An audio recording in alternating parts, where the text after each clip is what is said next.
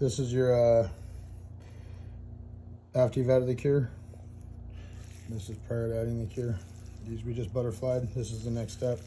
Administer your cure, which could be anything you like from Pautzke's to uh, Fire Cure, Pearl Glow, Wizard, there's a ton of different cures out there. Kind of pick what you want, but you want to get in between each individual flat on the skein consistently.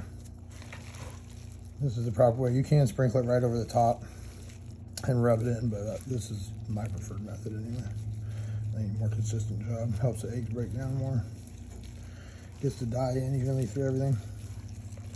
So in with your cure, you're gonna wanna mix some dye. Leave that up to, to you to figure out how much you want in each.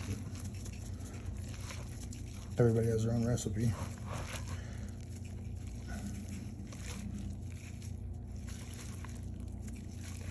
Time consuming.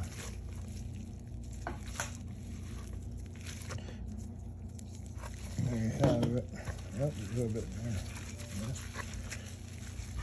Rub it all in together. Add to the container. Now it's gonna juice. And it's gonna add, you add your scent right now.